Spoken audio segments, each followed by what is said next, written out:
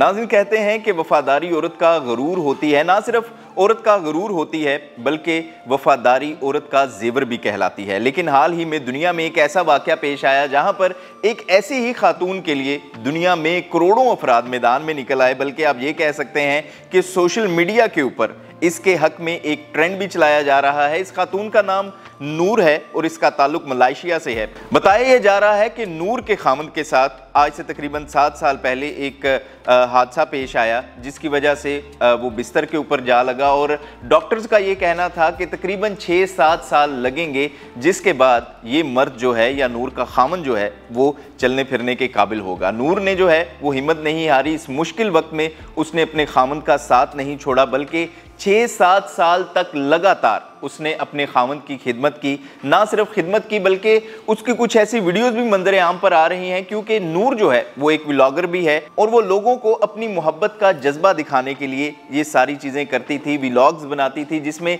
ये देखा जाता था कि नूर अपने खामन को फ़ीड किस तरह से करवा रही है? एक बॉटल के साथ वो अपने खामन को फ़ीड करवाती थी और इसी तरह से वो बीमारी के हालत में हमेशा उसके साथ रहती थी। और हम ये भी जानते हैं कि जब कोई भी शख्स जो है, वो छः या सात साल के अरसे तक, यानी कि ये कोई छोटा अरसा नहीं है, इतने लंबे अरसे तक अगर कोई शख्स जो है, वो बिस्तर से जा लगे, उसको मेडिसिन और खुराक के साथ साथ हौसले की भी ज़रूरत होती है। और कहते हैं कि इस हालत में आपको सिर्फ़ और सिर्फ़ आपका लाइफ पार्टनर ही संभाल सकता है। लेकिन नूर ने ये तमाम तर मुश्किल मरहला जो है, वो बड़ी ही खुशलूबी से आप इसको कह सकते हैं कि पार किया। लेकिन उसके बाद नूर के साथ ये हुआ कि जब उसका खामन चलने फिरने के काबिल हो गया, वो दोबारा सेहतमंद हो गया तो उसने नूर को तलाक देकर शादी कर ली। अब यहाँ पर भी जो है, वो बड़ा ही एक इंटरेस्टिंग वाक्य है कि नूर की वफादारी जो है, वो सिर्फ़ यहाँ तक नहीं थी, बल्कि जब उसके खामन ने दूसरी शादी कर ली तो उसने तलाक की या अलहदगी की इतला सोशल मीडिया के ऊपर नहीं दी, बल्कि उसने सोशल मीडिया के ऊपर, अपने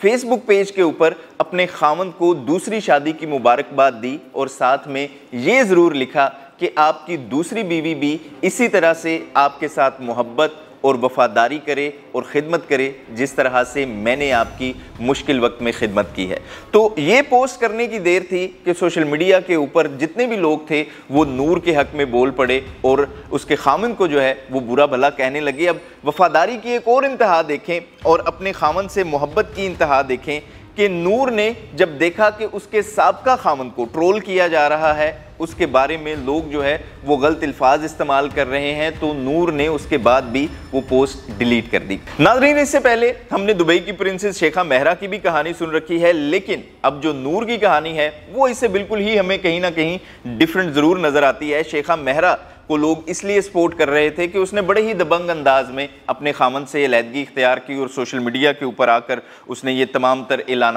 किए और उसके बाद फिर उसने डाइवोर्स के नाम से एक परफ्यूम भी लॉन्च किया। ये तमाम तर कहानी तो आपने सुन रखी होगी, लेकिन नूर ने आप ये देखें कि उसने वाकई ही वफादारी का जो पैकर है, वो आप कह सकते हैं कि बन के दिखाया कि ना सिर्फ़ अपने खामद की मुश्किल वक्त में खिदमत भी की, मुश्किल वक्त में उसके साथ भी खड़ी रही, लेकिन उसके बाद भी जब उसके सबका खामन के ऊपर लोगों ने कीचड़ उछालना शुरू किया, उसने अपने सबका खामन के हवाले से नामुनासिब अल्फाज सुनने जो हैं, वो शायद पसंद नहीं किए, जिसके बाद उसने ये पोस्ट डिलीट कर दी। आप इस हवाले से क्या राय रखते हैं, कमेंट बॉक्स में हमें ज़रूर बताइएगा, देखते रहिएगा न्यूज़ अलर्ट।